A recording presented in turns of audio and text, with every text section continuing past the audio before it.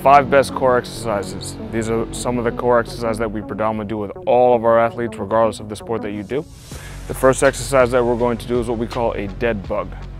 A dead bug is going to be on your on your back, legs straight into the air, arms straight into the air, and from here we're going to alternate our arms and legs. So from here we're going to have our right arm going down to the ground and our left leg simultaneously going down to the ground at the same time. So look just like this.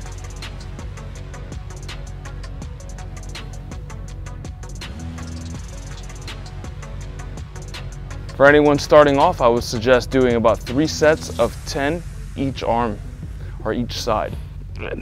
This exercise is really good for teaching core coordination as well as anti-rotation stability. Again, if these are too hard or too difficult for you, you can regress them with just using your arms or just your legs, similar to looking like this. If it's just our arms, the arms move. If it's just our legs, the legs move. These are regressions towards the dead bug position. The next exercise that we're going to be doing is a bird dog. So it's the same as our dead bug position, but now we're on our hands and knees. From here, we're gonna alternate right arm and left leg, reaching out. Start pretending we're trying to punch and reach for that front side or the wall that's our net in front of me, and taking our back leg, trying to kick the back wall, trying to get as long as possible, back down to the start position, alternating inside.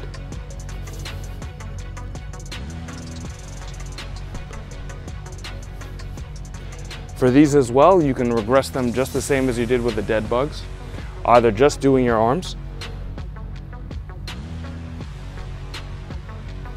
or your legs.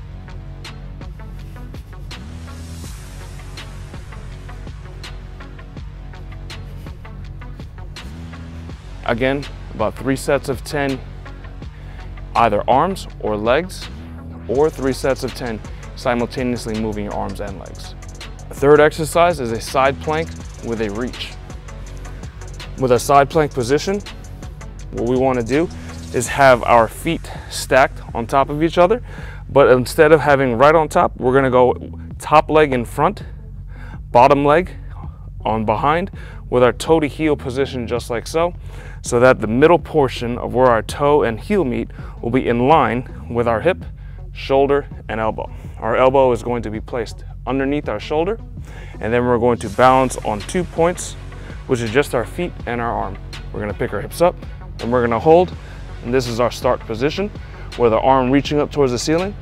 With the reach through, we're gonna take our arm, we're gonna come down underneath, rotating on our arm that's on the ground, reaching it through, right back up.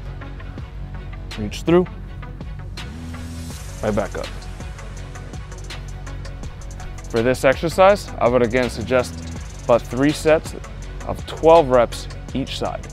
Another one of our top core exercises that we do here at Zoned Sports Academy is our chops and lifts pattern. From here, this is a tall kneeling start. We can then progress or regress these to any position if we were to progress these, we would either bring one leg up, or if we were to regress them, we would sit down right onto our butt, just like so. Again, we're gonna show you tall kneeling lifts. We're gonna take our J-bands. You can hook them up to any direction as long as they're within our torso, within our torso. We're gonna take a overhand grip.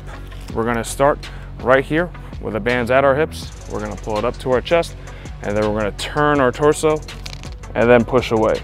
Bring it right back down to the middle and down to our start position. The purpose of this is to teach our torso to rotate first before our arms.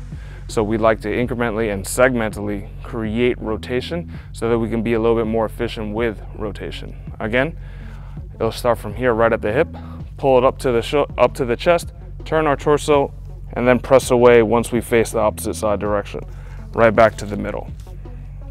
Again, to the chest, turn, and then press. For this exercise, I would again recommend three sets of 12 each side. Good, the next exercise is very similar to the lift pattern we just did. This time it is a chopping pattern. Again, this time instead of having the bands in line with our torso, we're gonna have the bands lined up over our head in the kneeling position. We're gonna again start Again, with here, with hands on the J-bands, above our shoulders, the same pattern, but now we're reversing it. Again, trying to work on efficient rotation through the torso. From here, we're gonna pull to our chest, turn away, and then chop down. Back to the chest, and back away. Again to the chest, and push it down. Again, the goal of this is to teach efficient rotation regardless if we are lifting up or pushing down. Again, that our torso does move within 360 degrees that we want to utilize when we create rotation, either if we're hitting, we're pitching, we're throwing from the outfield, or throwing across our body from the middle infield. Again, this exercise I would recommend three sets of 12 each side.